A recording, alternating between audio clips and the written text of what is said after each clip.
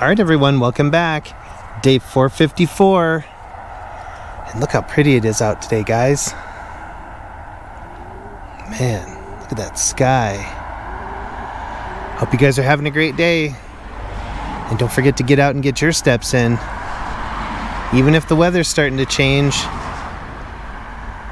all the cheerleaders are coming back. There's all kinds of things out chirping at, at me now. There's a dove over there, there's a pigeon over there, there was a woodpecker earlier, there was just some geese flew overhead, there's robins, you name it. Man. I hope you guys enjoyed the sunrise time lapse I put together for you. And I'll see you guys tomorrow and we'll do it again.